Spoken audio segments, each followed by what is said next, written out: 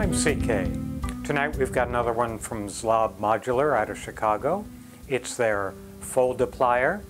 It's a wave folder and harmonic generator with lots of interesting feedback paths and some other wave manipulation stuff in it. And I liked the last Zlob modular product I did, so I'm looking forward to this one. We'll put it together, see how it sounds, and I hope you enjoy the video. Here's the package. Relatively simple package, that's always nice. Zlob Modular out of Chicago. I picked this up from thonk.co.uk where I get many of my modules.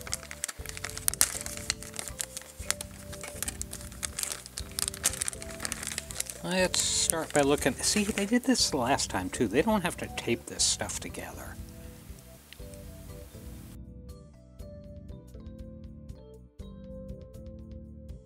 Got them untaped. That's step one. And let's look at the front panel. And interestingly enough, here's the front panel. And here's the front panel. You can be all fancy and ornate, or you can be plain. We'll look at the plain side first because we can read it a little better. So there's, it's the Foldiplier. This is the knob to fold, I assume. Let me look. Let me get the pots and jacks board behind it. So that's a pot. Then we've got CV input. Actually, no, that is a pot. Okay, and actually that is not a. Oh, I see. That's a little LED that shows you when CV is acting on fold. And then this is feedback, I think, because that's another pot. Uh, looking at this.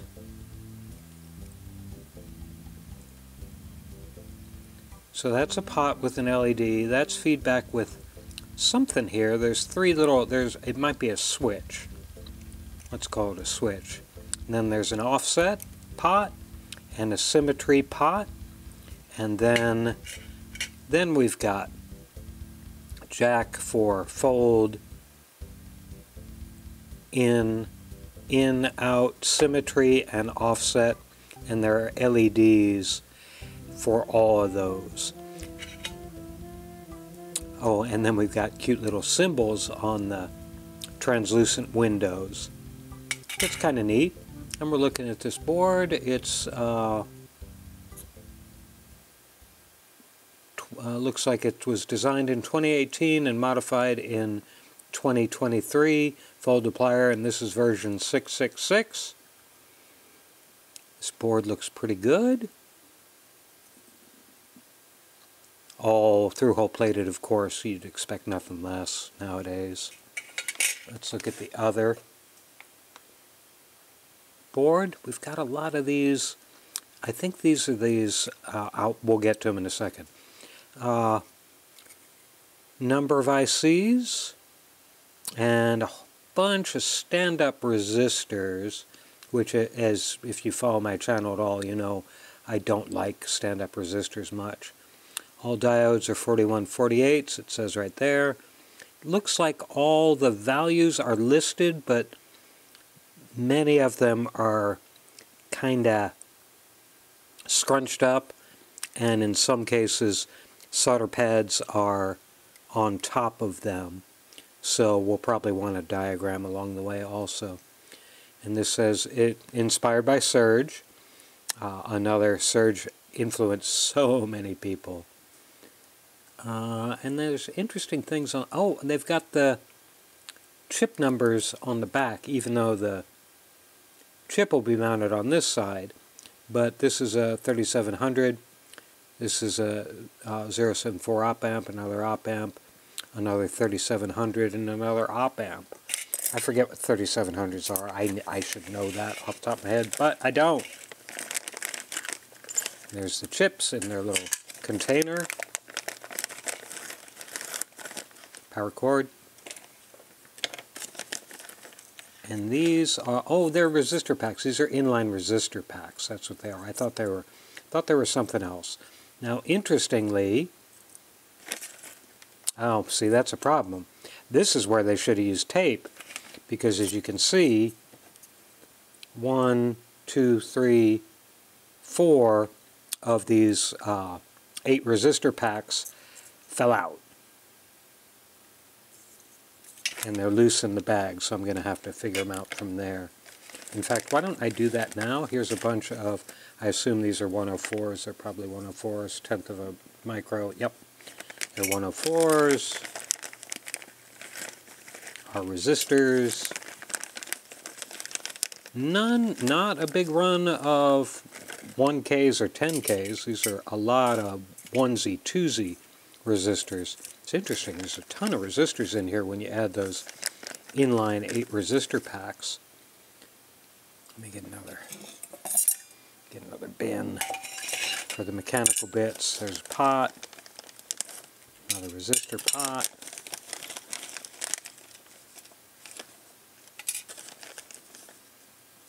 Pot, pot, pot, pot, jack, jack pot. And then we'll get these Oh, and there's a loose something or other in here. Huh, this is interesting. I've got more got more inliners than I have open positions on this. Unless I'm miscounting. I'm probably miscounting. Oh no, there's other holes in here. Let me see if I can read these. These are, that's a 104. They're easy to read. These are not hard to find the values on. So 102. And there's the sockets. And in here we've got kind of mixed bag here. They, they kind of mix mechanical with electronic, which is a little interesting to part out. Normally we have all the mechanical in one bag and electronics in the other bags. But not this time. And the knobs are cheapies, just press on, no, no nothing. Oh, that's a actually a switch like that instead of a handle switch, uh, paddle type switch. Trimmer, so we're going to have to calibrate this a little bit, I, I assume. Bunch of electrolytics. 3906. Transistor. Some LEDs. 78L05, that's a voltage regulator. Again, I'm separating mechanical from electronic here. That's why we're taking a little longer than normal on the on this part. There's another transistor. I'm just going to dump these into my hand. But since they mix the mechanical with the electronic, I'm kind of I want to separate them so I don't get confused. So that's what we got. So we'll get the soldering iron heated up and start putting this guy together pulled up the build guide from their website. Lots of good pictures. Looks like everything is in pictures, which is pretty neat, even though they're going on and on. So on the resistor arrays, we'll do the 100K first. On the resistor arrays, there's one common pin, usually marked with a dot. You can see it there. And then, I want to see how we're oriented here. We're oriented this way, okay? And you'll see on the circuit board, let me zoom in a little bit. Hopefully that'll focus. On the resistor array, the there's usually a square pad which shows where the common pin for the resistor array goes. So it's pretty easy to figure out how to put them on. But we'll do the 100Ks first, the 104s. So we'll put that in. Now, the author of the build guide does say he prefers to put the he says I like to face the text of the arrays out so it's easier to troubleshoot in case something got put in wrong. But you can't always do that because of the way you got to put them in. So we'll do all the resistor arrays first. Let's put one on to see how they go in. That's big solder. I don't want that. I want some narrow solder. I had to use big solder for a power supply I did the other day. But now we're back to regular size 0.031 solder. Solder goes in well.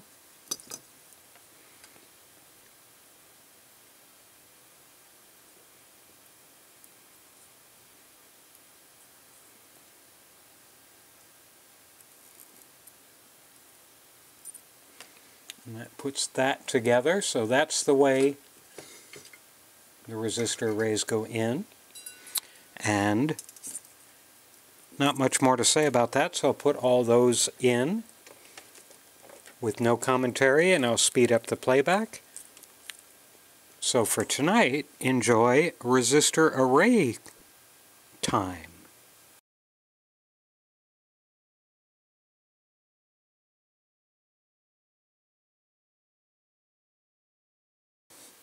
All the resistor arrays are in and the next thing is putting in all the regular resistors, stand-up resistors in this case.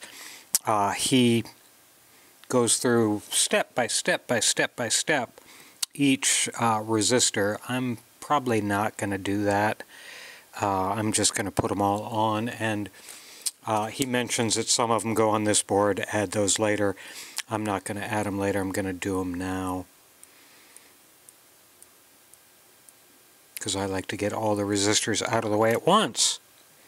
So we're going to take our 47Ks, and again, they have written the values on the little piece of paper, which is very convenient, so I tend to leave the little piece of paper on my solder pad so I know which one I'm working with, even though and you can read the color codes. But now one other thing looking at his pictures, he has such neat bends when he bends over. I figured I may as well use my bendy pliers and try and be as neat as he was. No, I'm just going to fold them over. Because uh, that's the kind of guy I am. And his pictures show you exact placement, but I'm just going to do my typical search around and figure out where they go. So for stand-up resistors, as you can see, you fold them over like that.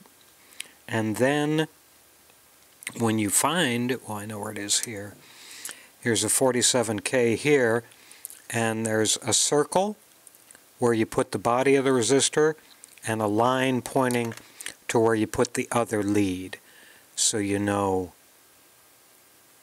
how it goes. And again, I, they're great for space saving. I'm never going to deny that. I just don't like... Uh, I, I'm always worried about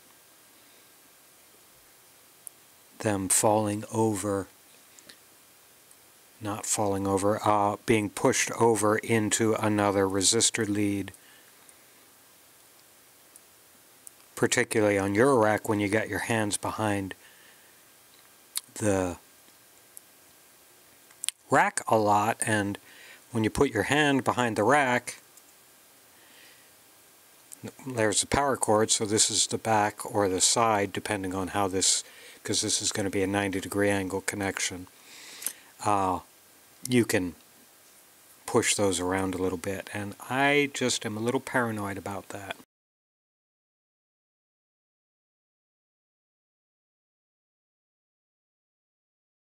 That's resistor time for this kit. And as you can see, there's a whole bunch of resistors. And one thing that he does that I appreciate for the stand-ups that are side by side, he does orient them opposite directions. That's at least some some fig leaf to say stand-ups are okay. Now we're going to do the tenth of a microfarad, the 100 nanofarad 104 caps. There are uh, 10 of them, but there should be 12 here. 1, 2, 3, 4, 5, 6, 7, 8, 9, 10, 11. What? 1, 2, 3, 4, 5, 6, 7, 8, 9, 10, 11. Because he says 10 tenth of a microfarad caps. The remaining two go on the top PCB later. So I've got 11. Then we've got two nanos, two 47s. I'm missing a, unless they respun the board, which they could have done, uh, I'm missing one cap. Fortunately, I've got 104s. Everybody uh, should have 104s. Let's see. Let me. I'm going to count on the board to see what we've got. Actually, he says here the remaining two go on the top PCB later, and I'm only seeing one tenth of a micro. That's a 0.47. That's a 0.47. So he may just have been behind in updating the guide.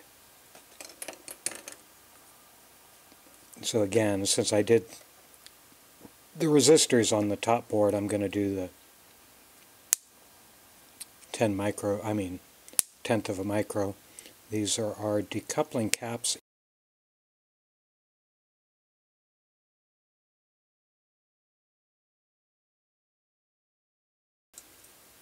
And so the tenths, oops, there is one more, never mind.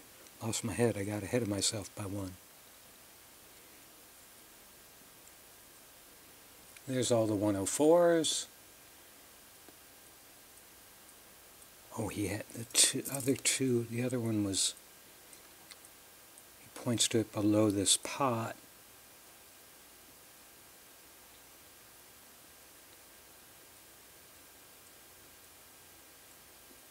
Yeah, so on the picture, here's pot 1, pot 2, pot 3, and there was a resistor. This 47K was actually here, and the other 104 went right there. But apparently they revised the design, which is always good.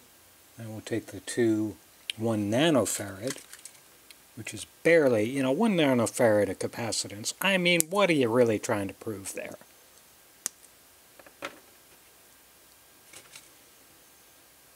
And they're 102s, and we'll find them. Uh, I could look at the picture. Yeah, look at the picture.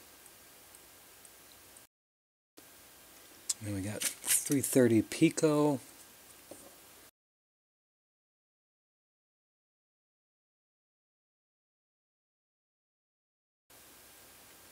Then we've got, and again, he doesn't mention this because he does the this board separately, but I'm going to put the two uh, 0.47 microfarad caps there and there.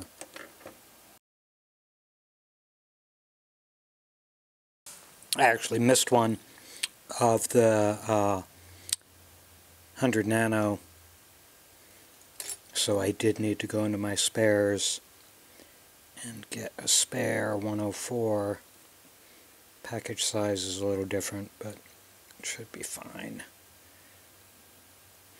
Still the same material.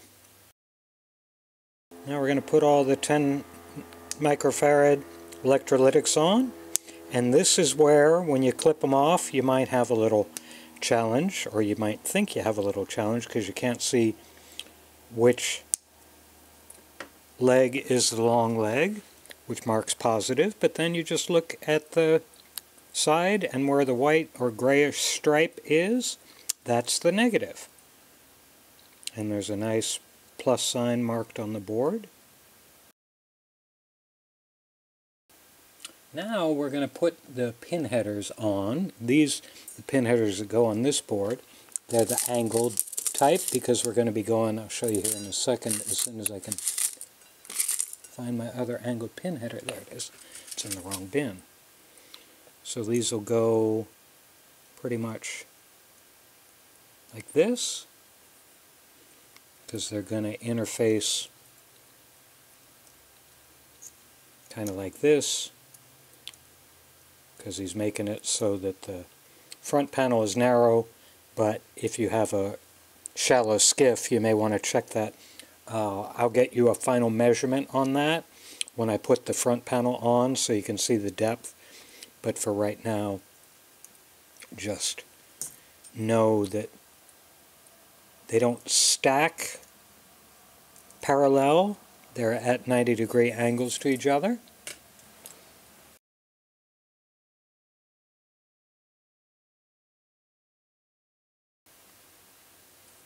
Oh, and by the way, if you know, you might have noticed, uh, I put these on uh, differently than he did. I put the short pins here.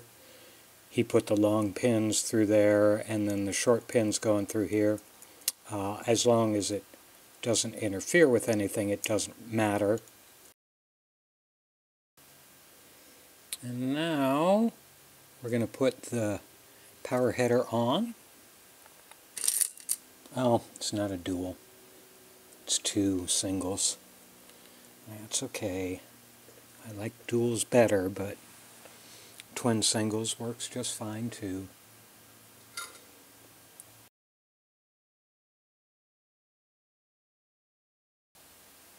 Now we're going to put all the dip uh, sockets on. And get them all set down. And I set them down that way so you can see that these two are longer than these two and you can accidentally put the shorter ones in one of the longer sockets and you might not notice it and when you do you'll say oh my gosh I gotta try and desolder this big old dual inline package socket which can be a real pain and that's the main reason why I have a heat gun is not for regular components but for things that have a lot of pins like sockets. So again, we're just going do one pin at a time to make sure they are flat and it's double checking that it's the right socket. So I'll put all these sockets on and solder the pins, but I'll turn the cameras off for that. Sockets are all on. Now you might have noticed a shift in the lighting. I finally got around to moving my work light. It, like for a year it's been bugging me because I get glare off the uh, shiny component traces, so I changed it. Tell me if the lighting is no good for you. So what are we going to do now? Now we're going to take the two 104 trimmers,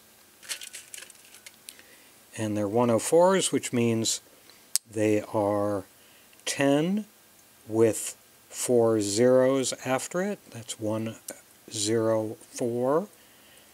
And that means they're 100 ohm variable resistors, or trimmer pots in this, as they'll be used here. I don't know what we're going to be calibrating, but we're going to be calibrating something. That looks like uh, one for fold and one for symmetry. Now we're going to do, do all our 4148 diodes. And as you can see on the circuit board for the diodes, there's a heavy circle. That's where the black stripe cathode side will be. And you got to get that right. It's not like the resistors where it doesn't really matter, but in this case it matters a lot because the polarity will be wrong and things either won't work at all or they'll work kind of funny. And you won't know why they're working funny.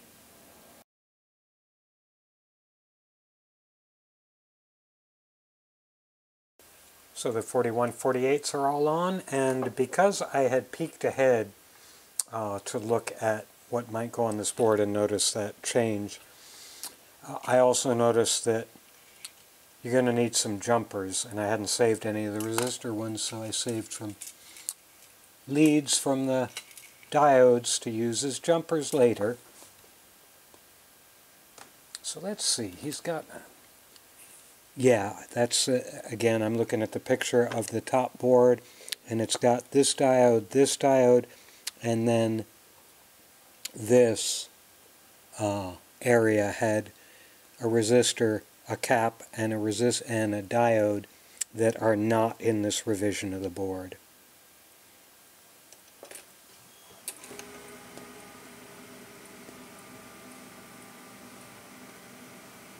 Okay, now we're going to do our four 3960, uh, 3906 transistors.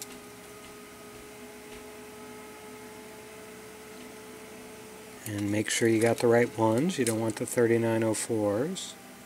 And you don't want the voltage regulator either. And the middle leg goes back. Some boards have it go forward. This board has it go back.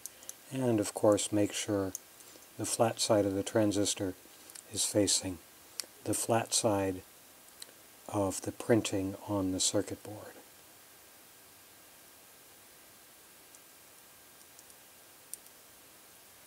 Yeah, tell me if you think I've got enough light here. I'm not quite sure I do. I may move the light again, but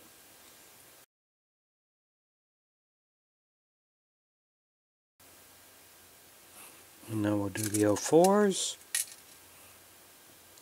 And there will be two on this board and three on the pots and knobs board, I mean pots and jacks board.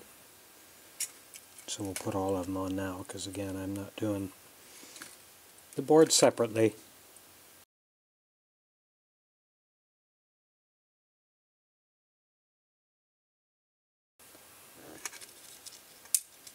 Now we're going to do the two voltage regulators. You got to make sure you got the right one because there's a 79 LO5 and a 78 LO5 and one is positive, one is negative, and you don't want to get them mixed up.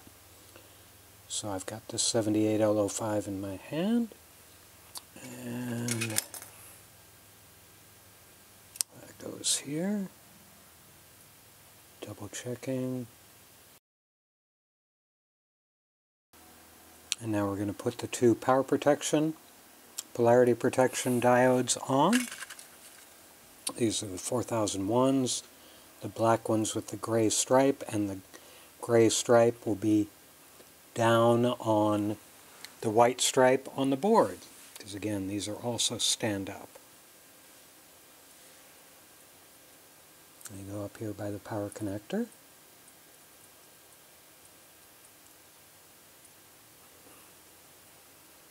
Which again just tells me why I don't want to use a stand-up resistor or diode here.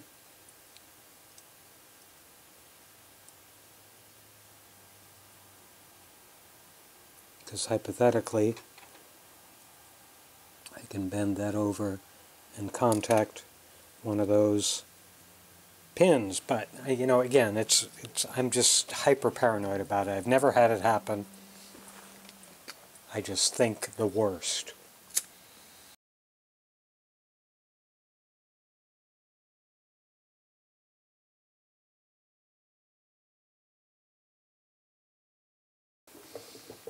That's all soldered.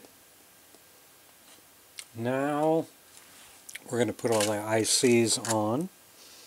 And again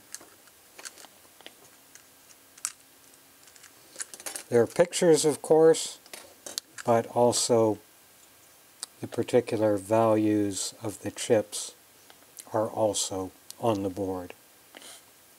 On the back of the board not the front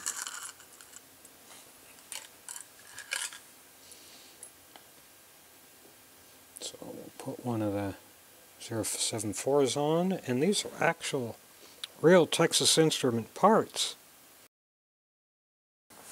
And all the ICs are in their sockets, all the notches are pointing this way.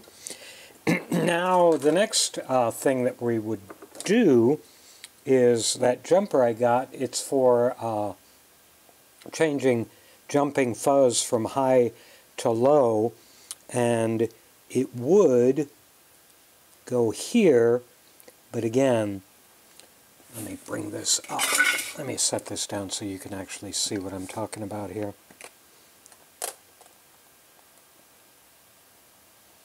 I'm gonna squeeze this down a little bit so it's similar size up similar size. Nope it's not going to do that for me. Okay so here is that's the 10k pot that's the 100k pot and here you can see diode capacitor resistor and fuzz and that's what's missing right here you can see this line of contacts and it's not here. It looks like he moved it over here. Diode, cap, 47K resistor, and eliminated the need for the jumper.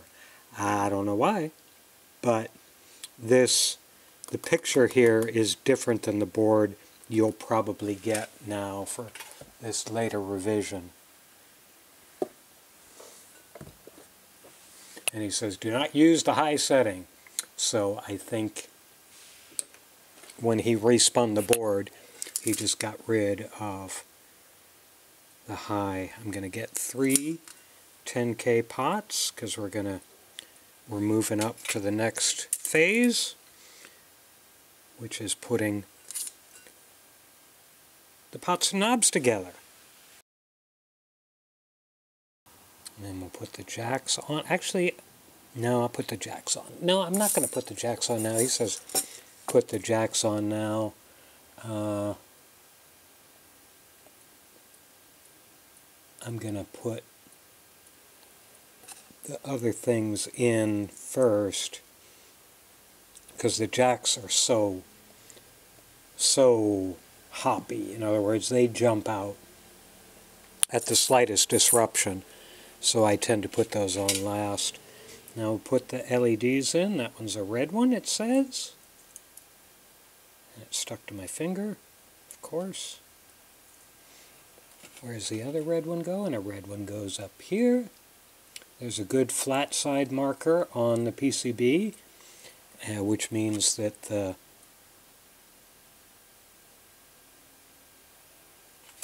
long leg goes in the hole away from the flat side.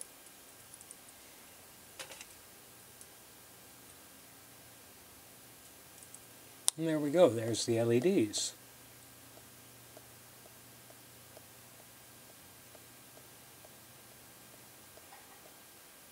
Now, we'll put the jacks on.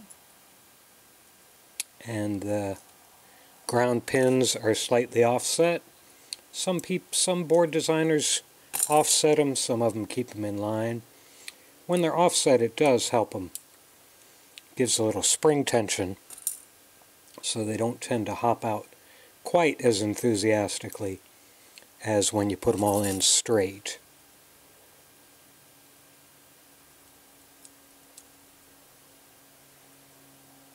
Now we're going to set the front panel on, and we've got a big decision, folks. Do we want the plain side or do we want the fancy side? We're going to go with the fancy side. If they put all the effort into making it fancy, we're going to make it fancy. Now none of these LEDs poke through. They're not like some other designs where the LEDs poke through. They're going to we're going to push them up against those translucent panels when the time comes. But the time is not right yet. I'm going to take my little clamp and clamp the board together, the two things together, shake it a little bit. Nothing's rattling except the LEDs. It's interesting, he's got some blacked out parts of his diagrams or his photos. He must have had a part in there that he didn't end up using. So I'm going to do one pot support pin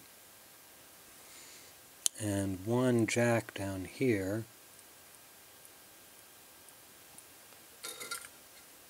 and with those in place I'm gonna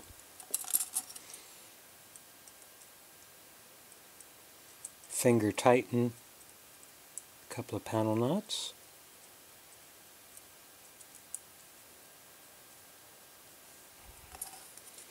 gotta remember which one I did I did this one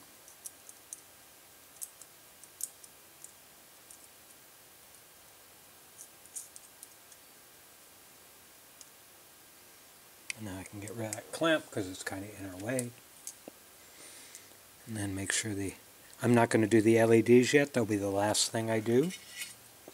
But I'll solder all these pins.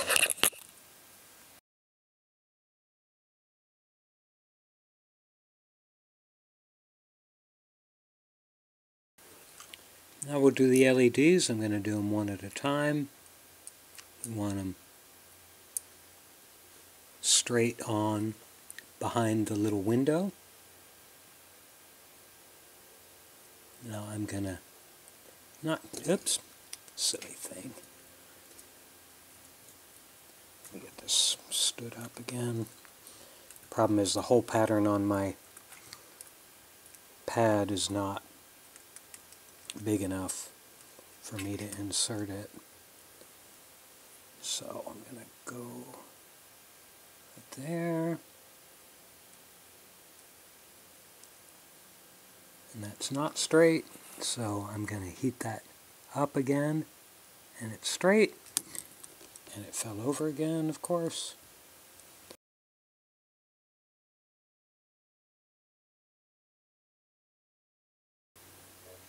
And as I flush cut that pin, looks like it's not soldered well enough, so let me get it back in there.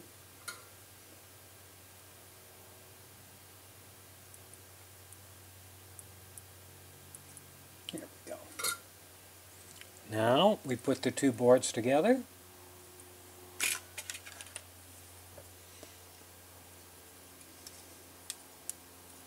So it's going to be just like so. I think this light is not working out. Again, you can tell me if it's light enough for you. If it's not, I'll go back to the other configuration. So I'm going to solder one pin because you may be able to see it's not quite at a 90 degree angle.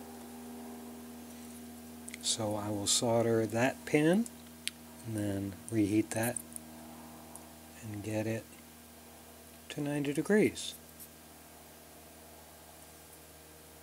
Now I'll solder all these pins.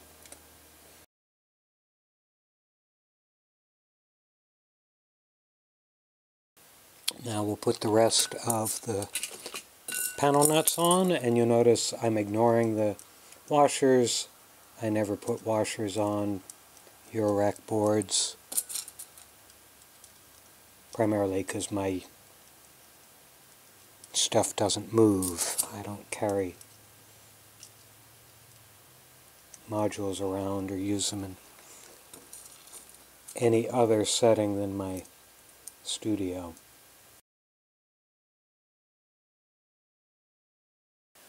Now we'll turn all the knobs, make sure they're all counterclockwise, and put the little caps on. And that is that. Let's put the power connector on and you'll see it's got a good red stripe indicator on the board. So that's the front. That's this side not really a back. The other side, top and bottom. And let's put it in the rack and give it a try.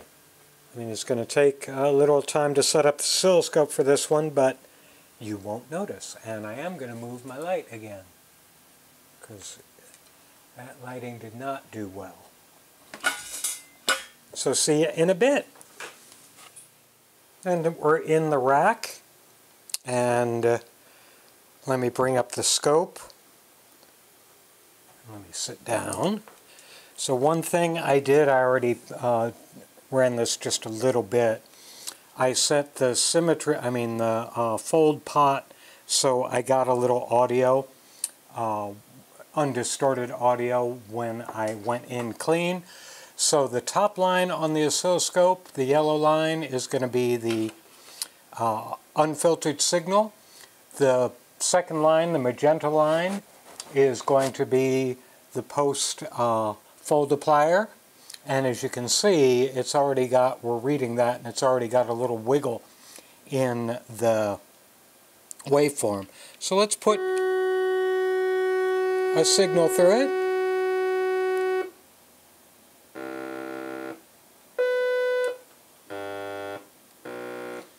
I'm sorry, I'm sorry, that LFO is too low. There we go. So as you can see there, it's for the most part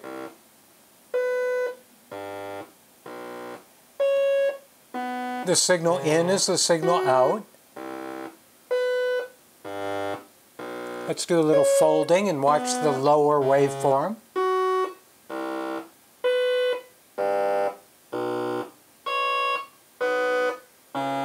That's, a, that's only a third up. That's interesting folding. Let's go halfway up.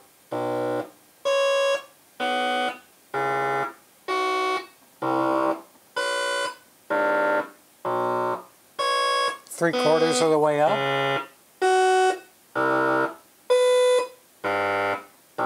All the way up. Okay, I'm going to come back down. We'll be at about a third up right now. And now I'm going to try uh, CV, changing CV a little bit. And this switch, I think that's feedback off, I believe. Then feedback on. We'll try the offset.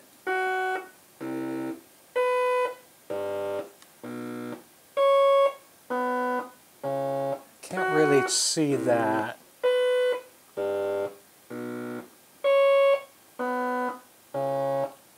I'm going to take the uh, fold all the way off. Oh, that was, and then I have to bring CV back up.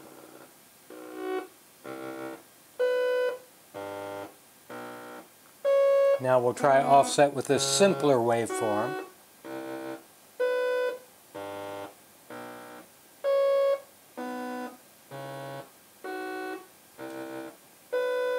Can see it a little bit and you can hear it a little bit. I'm going to take that back to the center. And now we'll try symmetry. That really flattened it out. See, it took it all the way down here. I'm going to take symmetry to about a quarter, I mean three quarters, and then do some more folding.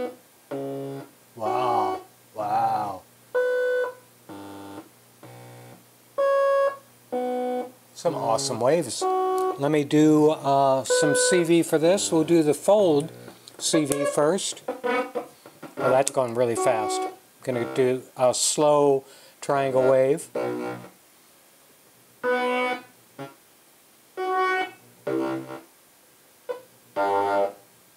So when it's at the zero crossing point, it doesn't make any noise. It effectively mutes it. Let me take it up real fast.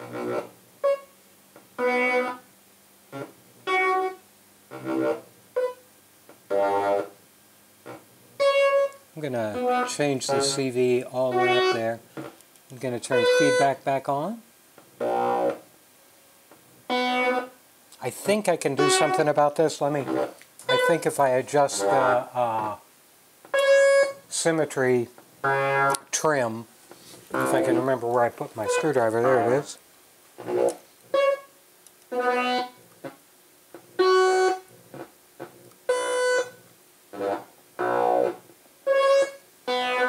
With the symmetry trim all the way up, uh, there's no dropout.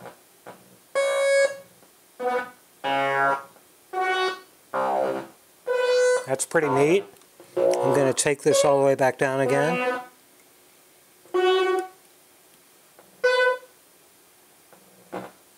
Yeah, I'm not sure I really like that.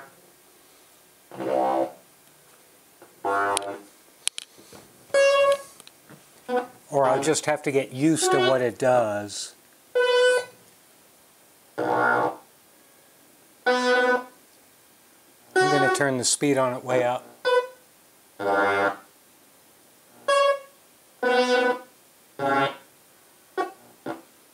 So that's what happens when you use the fold input.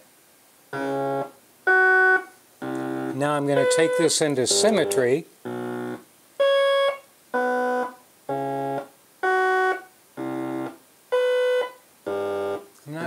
I'm seeing anything there. But I'm also not getting an LED, so I'm not sure. Oh, that's because I don't have it turned up.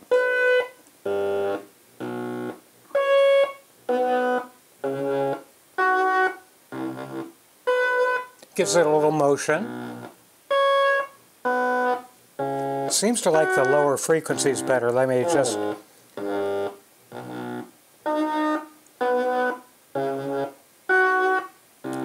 We'll try offset. You can see the line dancing. I'm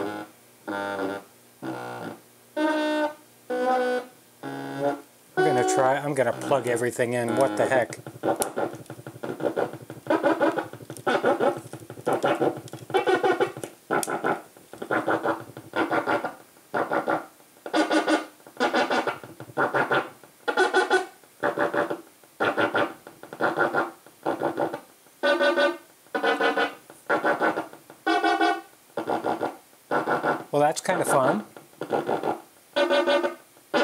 Going to take these LFOs all fast.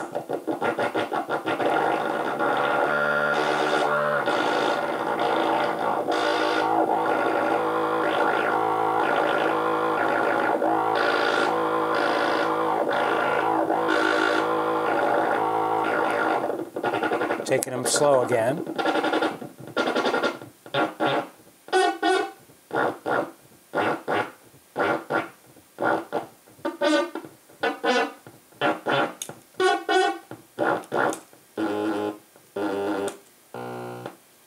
Taken all the uh, CVs out.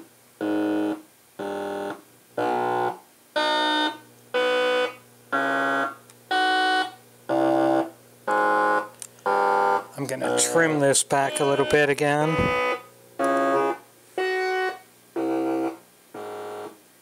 And as you can see, as I trim it to the left, the line flattens out. And if I take it all the way up,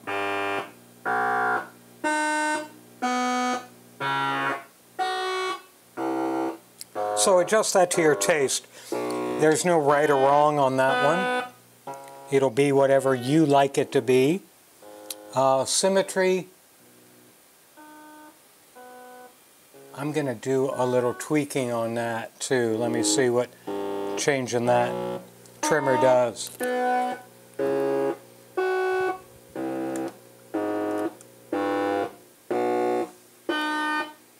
That's the trimmer all the way out. And let me take fold all the way out.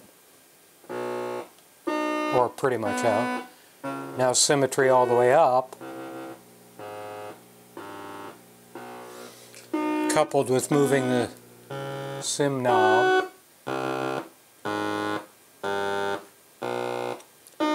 I'm going to go higher volume on my sequencer. I mean higher frequency.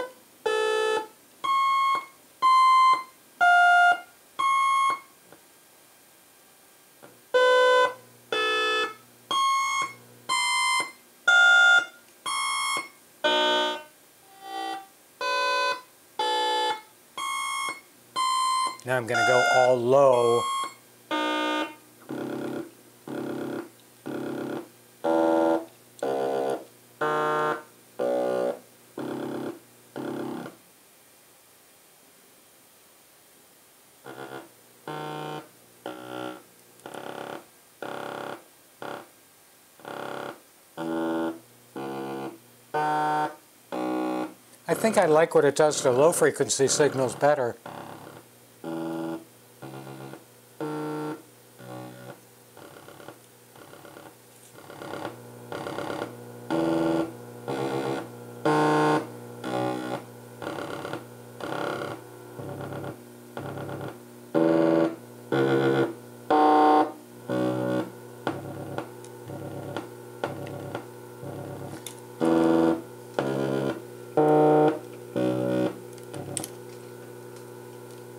That's what it does. It sounds pretty neat. It's got lots of uh, potential and a lot you can do with CV and setting the trim on the uh, fold and symmetry to your taste will be important.